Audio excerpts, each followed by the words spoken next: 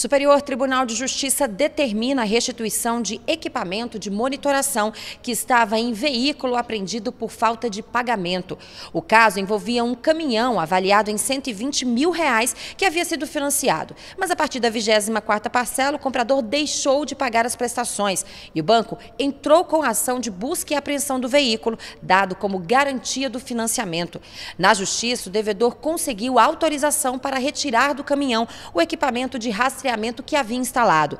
Mas o banco alegou que o aparelho não poderia ser retirado, porque, de acordo com o Código Civil, o bem acessório segue o principal. O Tribunal de Justiça do Rio Grande do Sul aceitou o argumento. O devedor recorreu ao STJ, onde o relator, ministro Marco Aurélio Belize, observou que o contrato de financiamento do caminhão não faz referência ao equipamento, o que leva a crer que o devedor foi o responsável por sua instalação. O relator explicou ainda que o aparelho de rastreamento, nesse caso, deve ser qualificado como pertença, pois é independente e não compõe o principal.